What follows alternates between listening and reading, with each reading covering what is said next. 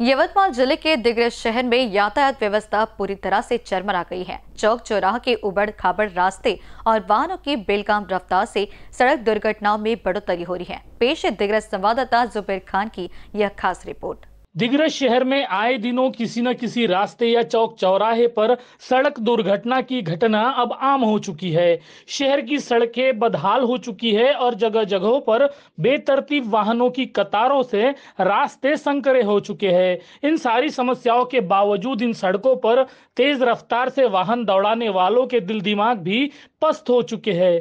बीते रविवार को शहर के जूने बस स्टैंड रोड पर महात्मा फुले चौक पर दुपहिया वाहन आपस में टकराने से दो लोग बुरी तरह जख्मी हुए। इस सड़क दुर्घटना में मोपेड वाहन सवार भारतनगर निवासी 60 वर्षीय मुबारक अली मलनस और वाई मेंढी निवासी युवा पार्थ दिनेश सोलंके बुरी तरह से जख्मी हुए, जिन्हें घटनास्थल पर मौजूद लोगों ने तत्काल सरकारी अस्पताल में उपचार के लिए दाखिल किया।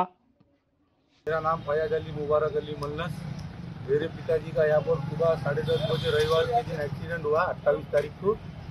और ऐसा है कि यहाँ पर रोज एक्सीडेंट होते रहते एक दो।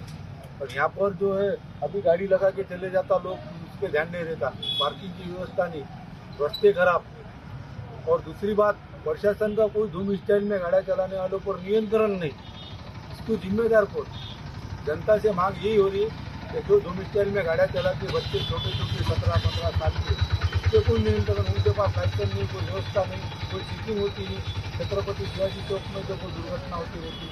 वहाँ पर कोई नियंत्रण नाही. गाड्या पे गाड्या खड़े देते रोड के ऊपर गाड़ी निकलना कहाँ से तो इसके वजह से एक्सीडेंट की दुर्घटना हो रही है शहर में बढ़ती हुई सड़क दुर्घटनाओं के पीछे एक नहीं बल्कि हज़ारों कारण हैं, जिसमें बदहाल सड़कें भी एक वजह बनी हुई है। शहर के मनुहार होटल के करीब बारह भाई मोहल्ले की ओर जाने वाले रास्ते पर हाल ही में नाली पर नगर पालिका द्वारा बनाया गया स्लैब तो मानो सिविल इंजीनियरिंग की अजब गजब नमूना साबित हो रहा है। इस स्लैब से रास्ते की लेवल बिगड़ गई है, जो सड़क दुर्घटनाओं को बैठे बिठाए निमंत्रण दे रही है।